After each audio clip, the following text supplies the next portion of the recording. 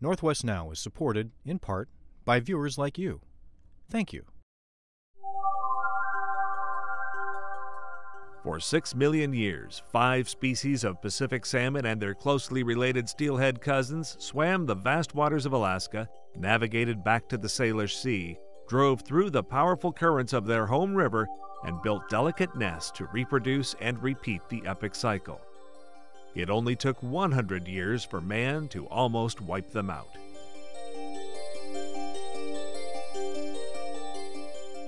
What happened? Hydroelectric dams blocked migration and altered the hydrology. Habitat was destroyed by old time logging practices and the taming of rivers and floodplains for development and agriculture. Harvest levels exploded as the technology improved, and the world's largest hatchery system, built to mitigate population declines, only masked the problem and made it worse.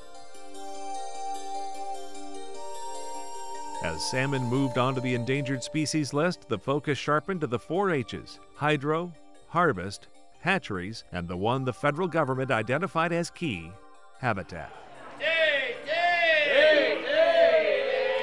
Today, salmon are almost cliche, perhaps viewed more as a tourist attraction or novelty rather than the backbone of a billion dollar industry or the linchpin of native culture. But in reality, thousands of people, including the region's most prominent Native American tribes, are spending millions of dollars trying to undo the recent past, trying to save the salmon.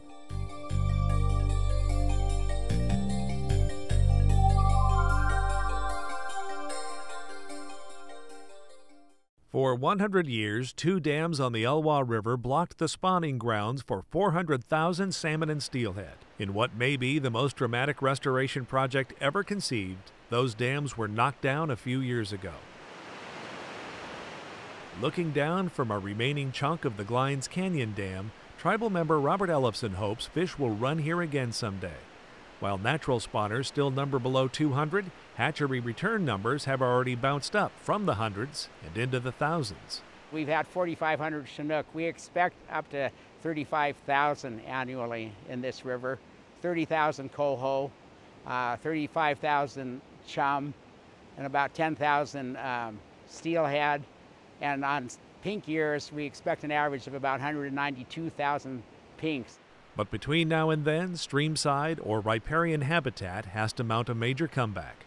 The former reservoir areas are still flushing out sediment, and the half million native plants planned for the project need to take hold to filter water and shade the river. At the mouth, the Elwha used to flush fish straight out into the Strait of Juan de Fuca. Now, a larger fish friendly estuary has grown to more than 80 acres. The estuary restoration, we've already got a tremendous amount of increased estuary area, but now the ecosystem has to return. Uh, the uh, revegetation on the reservoir areas are also important, and uh, those are uh, well on their way. The, at the the uh, the Elwha Dam's been out since March of uh, completely out since March of 2012, and it's well on its way to recovery as far as vegetation. And the Glines Canyon's just been out since August of last year, and it is uh, it's it's recovering, but it has a lot farther to go than the Elwha. Full restoration will take up to 30 years, but the Elwha are trying to recover native runs while producing hatchery fish. It's controversial and the subject of a lawsuit, but like many of the Salish Sea tribes, saving the salmon also means exercising treaty rights and fishing. I was a kid, you know, down here with my mom and my dad fishing this river. To have that part of my culture the time spent down here with my family, my mother, my grandparents, being, you know, it's just who we are. And to have that back and to hope that it'll be back, I, it's, I, you know, it's great to see the fish going back past the dams. Charles says the Elwha are a salmon people, a sentiment shared by most, if not all, of the other Salish Sea tribes.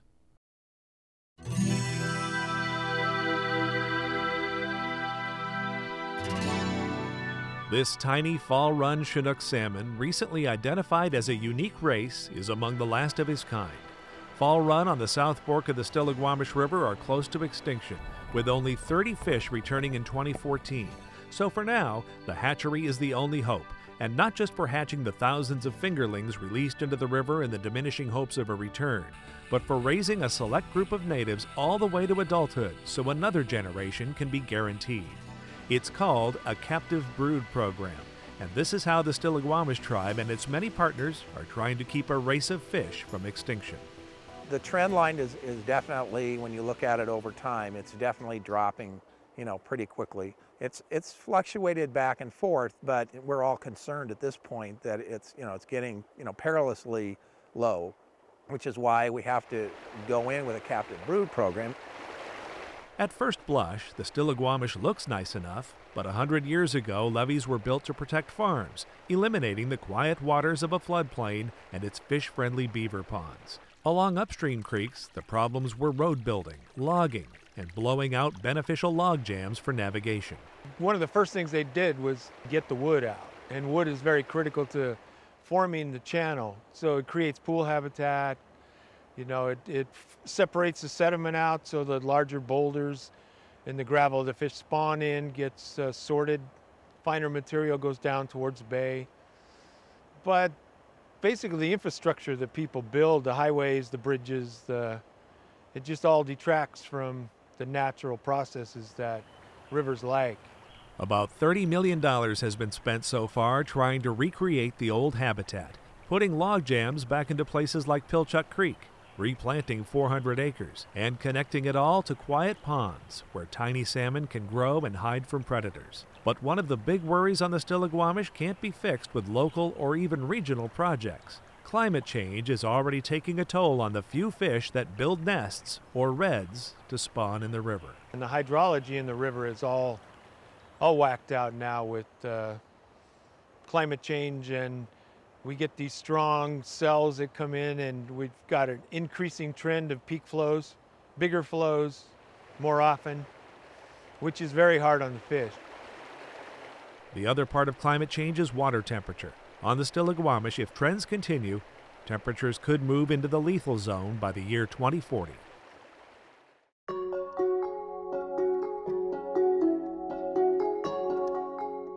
All across Puget Sound, river valleys and wetlands ended up being ports or graded and tamed for development or agriculture. That's why the Nisqually tribe is focused on restoring places like this, an example of the ditch that was Ohop Creek, one of only two tributaries to the Nisqually River.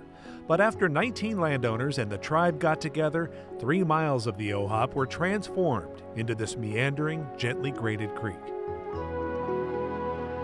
Thousands of native plants were installed to provide shade and cover, along with specially engineered log jams where fish like to hang out without fear of predators. When combined with land acquisitions in the Nisqually's headwaters, the hope is the spring Chinook, extinct in the mid 60s, might come back with the help of a hatchery program managed to encourage in stream spawning and facilitate the slow conversion of Green River fish into a new native race of Nisqually fish. David Troutt leads several of the major governing bodies overseeing salmon recovery in western Washington. He finds himself trying to balance the tension between tribes that want to produce fish for harvest and those who want less fishing and less hatchery production to spark wild runs on projects like the OHOP.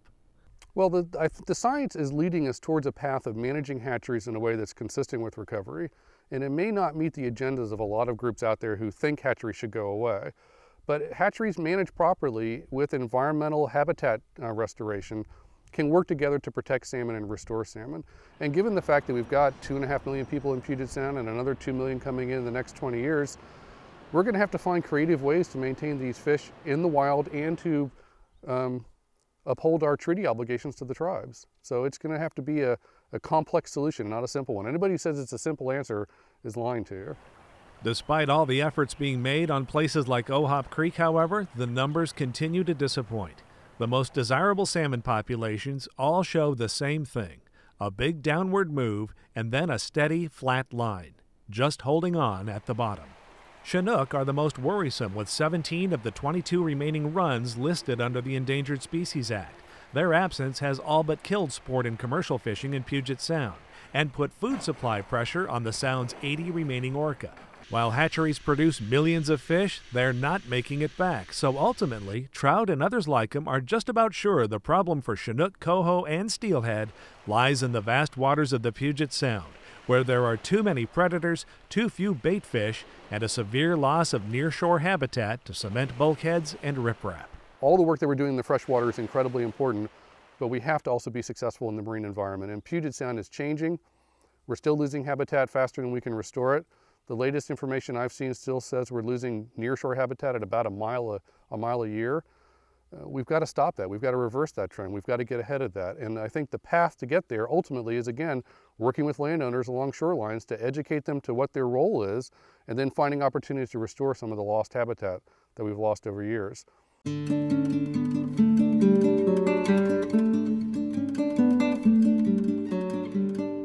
Chief Seattle's gravestone might seem like a reminder of the Suquamish tribe's ancient history, but relative to their relationship with salmon, Seattle's death in 1866 is recent history. So is the effort to bring chum salmon back to Cowling Creek, a little stream that flows into Miller Bay and is another example of how just one change can wipe out a productive salmon run. Innocent looking road culverts destroyed fish passage here, the final straw of decades of unwitting habitat destruction in the creek's watershed. We took out the beaver dams, and in many cases, we created barriers unintentionally or willingly. A lot of road culverts were not impassable initially, but became so after many high flow events. And uh, many barriers. Uh, here on Cowling Creek, uh, we'll be working toward removing the culverts that were put in in 1935 and are 100% impassable to all anadromous fish. Volunteers truck fish around the culverts and have put makeshift ladders into place trying to move fish. And eventually, doing things like taking out the culverts is not only good for fish, Dorn says it's part of living up to the Point Elliott Treaty of 1855. We've done a huge disservice to tribes when they signed the treaties and we promised uh, to allow them to hunt and fish in their usual and accustomed places. Uh, the fact that the natural resources are so diminished in many cases, and we all lose, um, whether we're sport hunters or sport fishermen. Um, it's a shared resource. If we work together, we make the pie bigger, everybody's slices bigger. The tribe's efforts can also be seen over on nearby Chico Creek.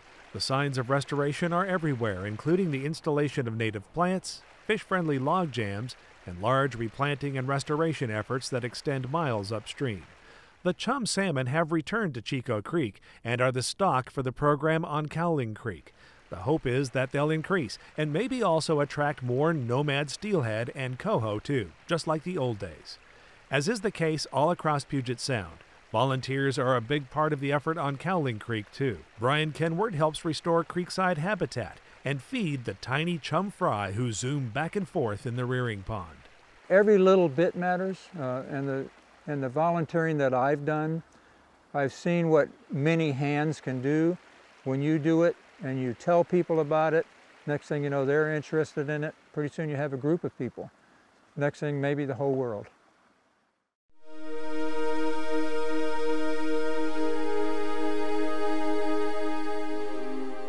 Our eyes are used to seeing channelized rivers and thinking they look normal, but they're really just ditches designed to make room for agriculture and move floodwaters quickly to the sound.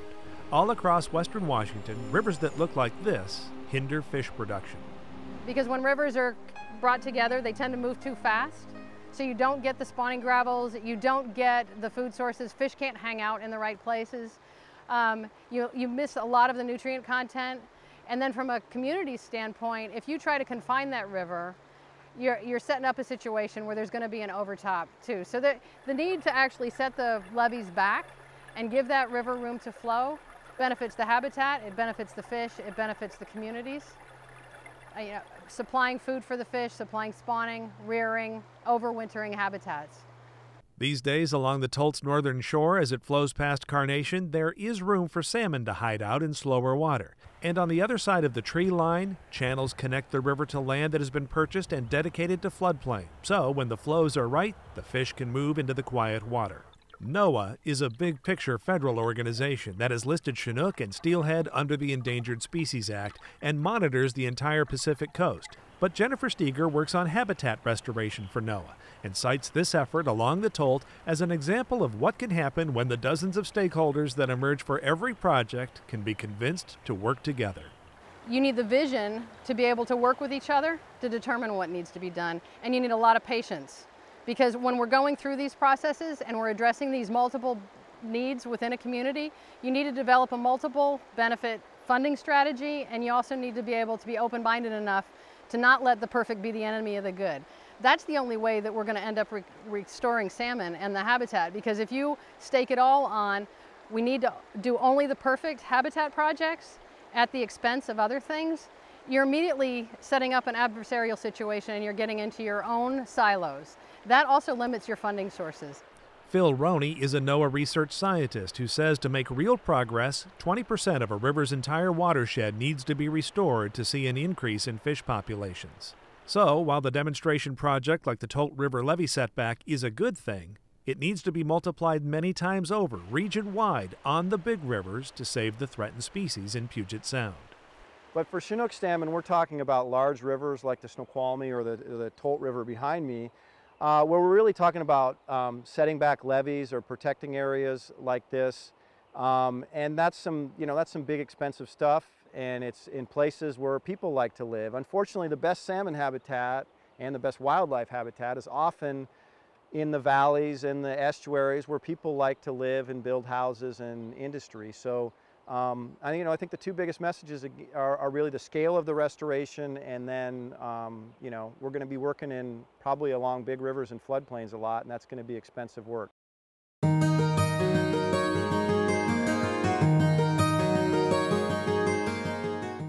At the Puyallup Tribe's Diru hatchery, the concern is steelhead, down to just 125 fish at one point. Like the Chinook on the Stillaguamish, this is a captive brood program where about a dozen pair of fish are raised to adulthood to produce about 30,000 juveniles, and then some of those fish are kept to do the same, preserving the wild gene pool and guaranteeing a brood stock. So basically, every time we go in to grab some brood stock, they're wild fish, and all the fish that are returning from our program, uh, you know, we, they actually have a coded wire tag in their head. Actually, it's just a blank wire tag, but they have a tag in their head and we can detect that tag, and then we're passing those fish up so they can spawn. The Puyallup White and Carbon River complex suffers the same problems as every other major watershed in western Washington. Headwater habitat was heavily logged, roads run everywhere and messed up the hydrology, and human development encroached all across the floodplains, meaning the rivers were almost completely channelized and riprapped. White River Chinook got down to a count of 20 before state, federal, and tribal partnerships got them off the brink of extinction to about 2,000. So it's a long road back, but fish like the steelhead may at least be moving off the brink of extinction.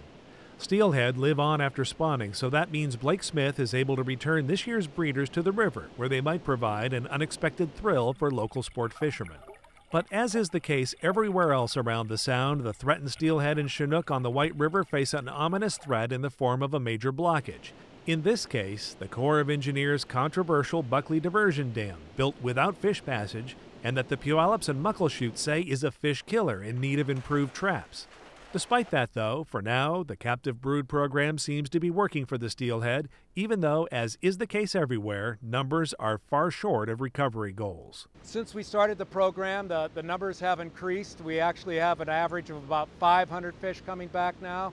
So we're seeing good results from that program, and uh, we're going to continue it, and hopefully uh, the things that are affecting steelhead survival in the salt water um, will turn around and maybe we won't have to do the program anymore, but it, we are getting more fish on the spawning grounds, and so we're, we are, and the river it's, itself is producing more fish.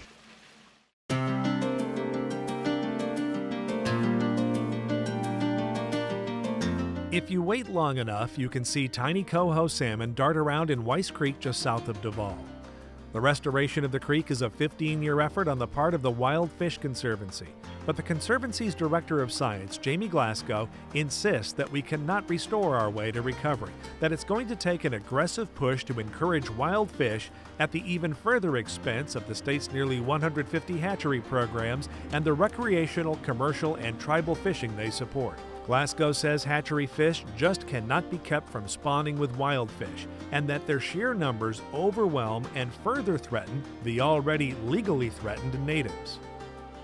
Hatchery fish production has genetic impacts on wild fish when the hatchery fish aren't harvested uh, and are able to spawn in the wild with wild fish populations. If you can think of wild fish as wolves and hatchery fish as Labrador retrievers, for example, I have a lab so I think I can say that. Um, that's a perfect example, and I think it's completely appropriate, and, and I'm not overreaching here.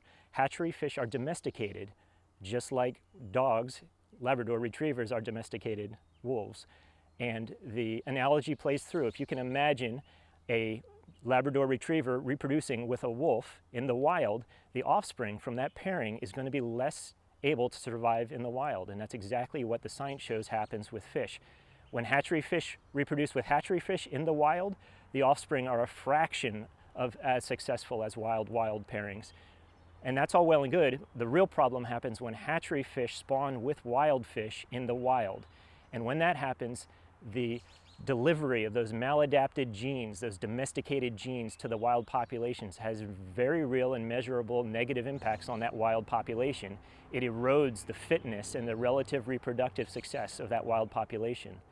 And that population is over time dragged down and is much less productive. No matter how productive the habitat it's in, it's much less productive than it was before in the absence of hatchery fish. In a nutshell, the Conservancy's lawsuit claims that despite many reforms over the past decade, current hatchery operations have not been reviewed under the rubric of the Endangered Species Act and are therefore being operated by all parties illegally. I should get these guys back in the water.